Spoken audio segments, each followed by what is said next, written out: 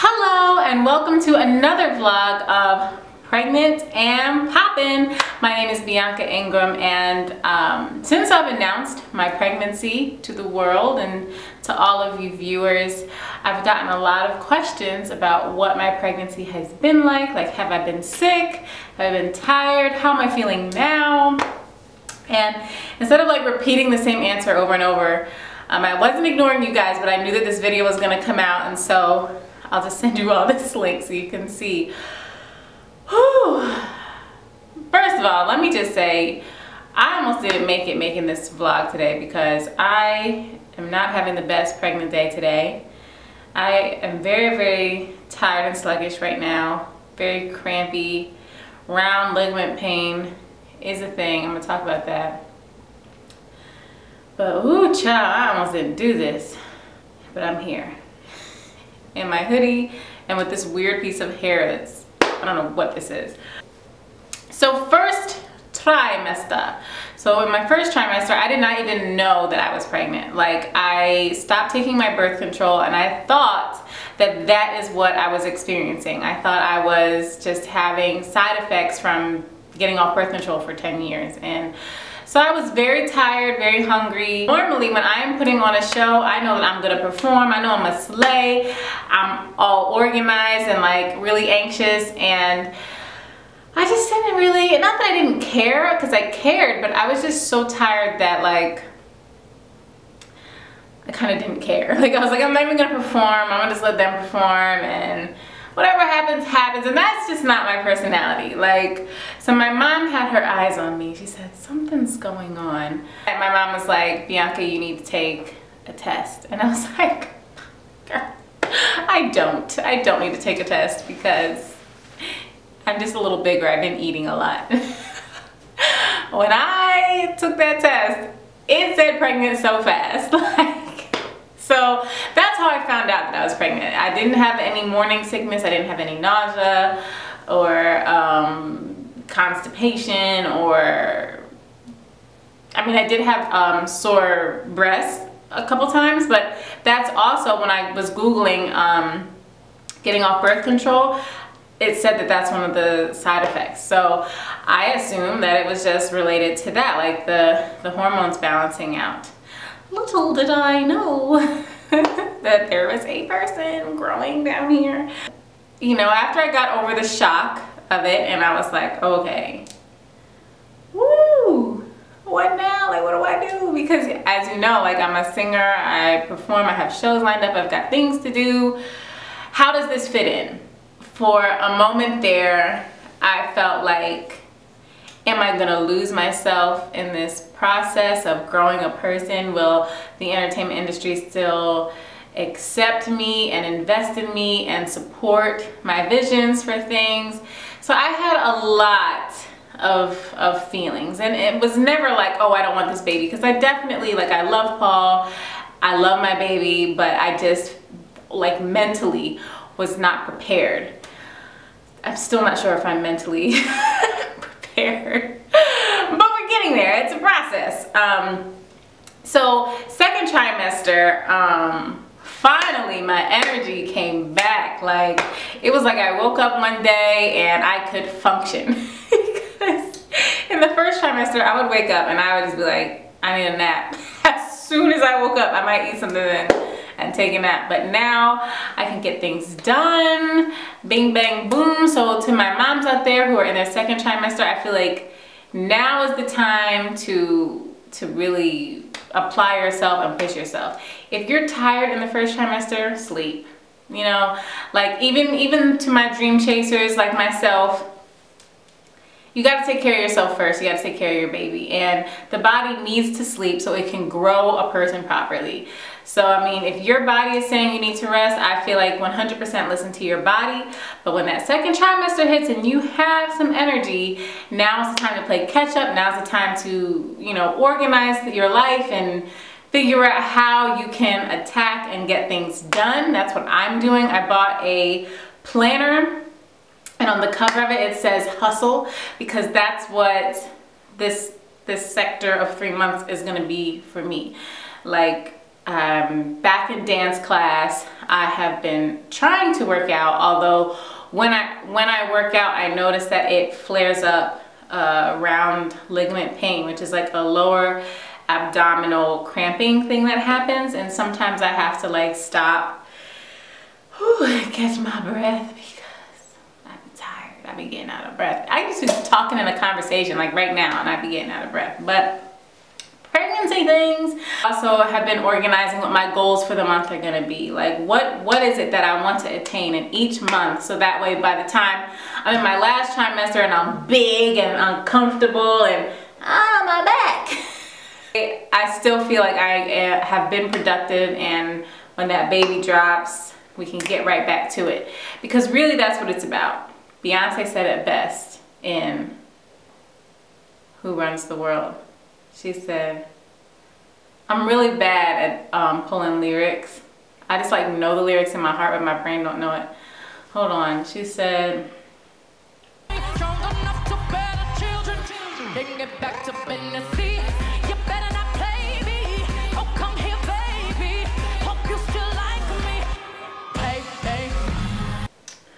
Something about dropping the baby, getting back to business. Listen, pregnancy brain. That's my plan, is to get right back to business and to show my child that anything is possible, anything can be done with proper planning and execution. So to you moms out there who are also trying to be pregnant and popping and, and not letting your pregnancy get in the way of, of your passions in life, it's just about believing in yourself first. Once you believe in yourself first, other people will believe in you and everything will be fine. It's not about trying to convince people to see your vision.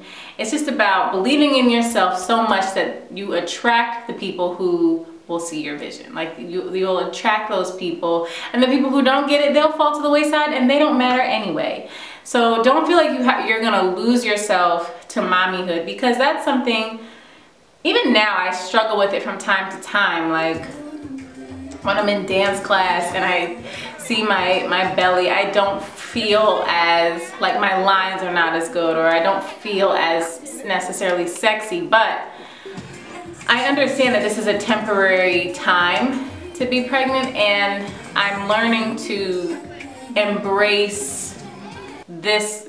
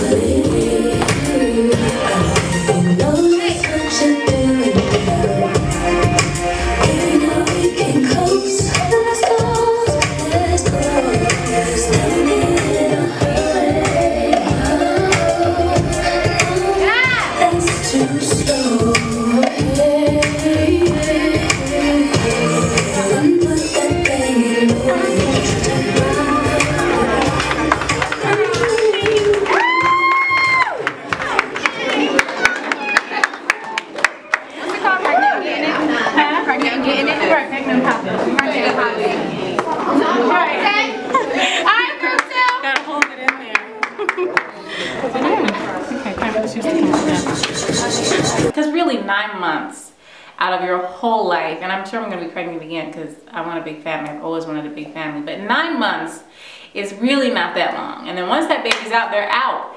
So it, it's about enjoying this journey, taking it day by day, and still doing the things that are you, still doing the things that you love to do. And when you have the energy to do them, you get up and you do them. My energy is pretty good today, so I'm getting ready to go to Divas in Heels, one of my favorite places to go. And I actually remember, um, I think it was, not, was it this past summer or the summer last year? I'm not really sure.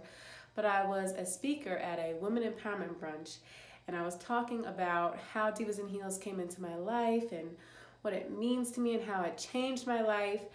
And then I was talking about the founders, Sam and Shelly, the creators of Divas and Heels and owners of Studio Diva, New Jersey. And um, I was saying how they are wives and mothers, and I didn't know that, and how inspirational that was for me. Check out this clip. I really wasn't doing anything for myself. If it wasn't business that I had to show up for, like interviews, photo shoots, shows or something, I was at home being sad. I got so comfortable in my insecurities and self, I forgot how to love myself. But for whatever reason, this particular night, I decided to go to Divas and Heels Geo. And I'm so glad I did because for me, I feel like that was one of the most pivotal steps I took to find my way back to myself. Divas and Heels is a dance class for women to feel sexy and confident. And we laugh and we have fun. There's people in there from like 18 to 70, we up in there dancing and our heels falling all over the place. And after that, I was like, I'm gonna go to their class every time they got me. So then I became a regular. and now I'm a brand ambassador because that's how much I believe in them and what they do for the community. They never heard that story before, this is their first time. I want to thank you, Jonte, and the IMC Women Empowerment Conference for giving me this platform to speak to you guys and talk a little bit about moving in confidence. Now, before we will on, my friends, save each other. So, another thing that I never told you guys, right? So in my career, it's not exactly like the thing to do to like get married and have kids. And I always kind of felt like I was going to have to choose. Like I was to have to sacrifice. I can't do both. And I don't have kids yet, but like I'm thinking about it. but like I, I was kind of like, can I be a singer and start a family? Or do I have to give that up? Because they're both dreams of mine. I didn't know they had families when I first started coming to the class. So like, I look at Beyonce and Ciara and Serena Williams and Sam and Shelly, and I'm like, oh, yes, y'all are in that category for me. Like, all these women have families and they have not missed a beat in being themselves. They didn't lose their identity in motherhood. They, it was just another added thing into their life. And so I want to thank you guys for being such great role models for me and showing me that I can do it all, I can have it all. So I know you guys are going to tell like how you started and everything their story is great. So let's make some noise for the founders of Divas and Heels, Sam and Shelly.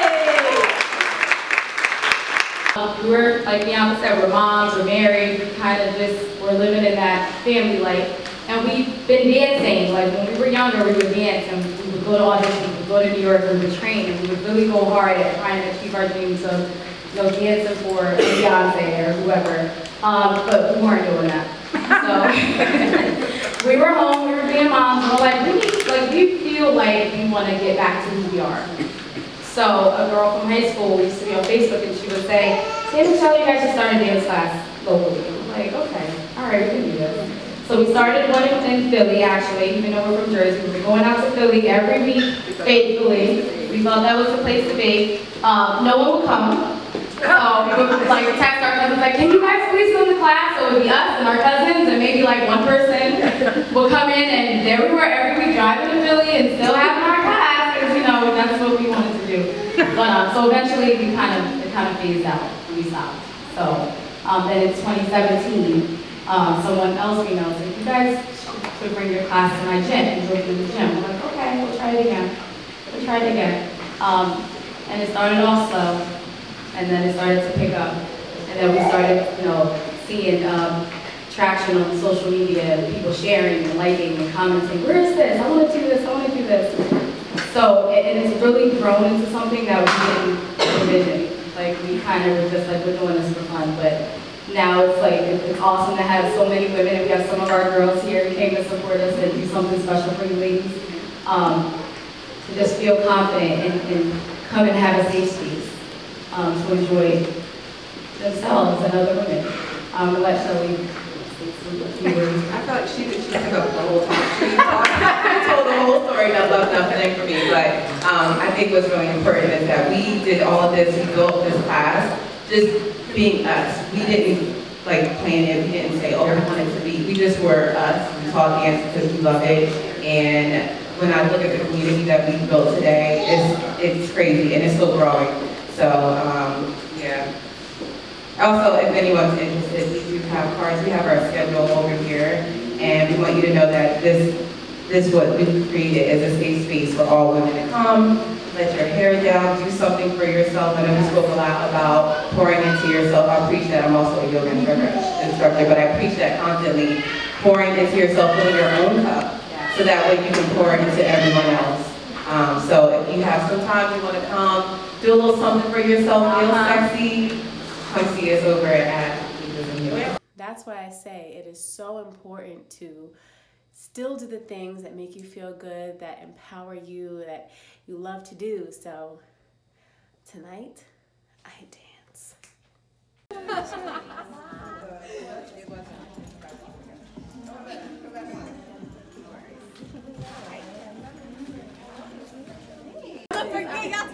Alright, so we're good. Like I said, don't come up here. here. Don't come up too, too close. But y'all good right here.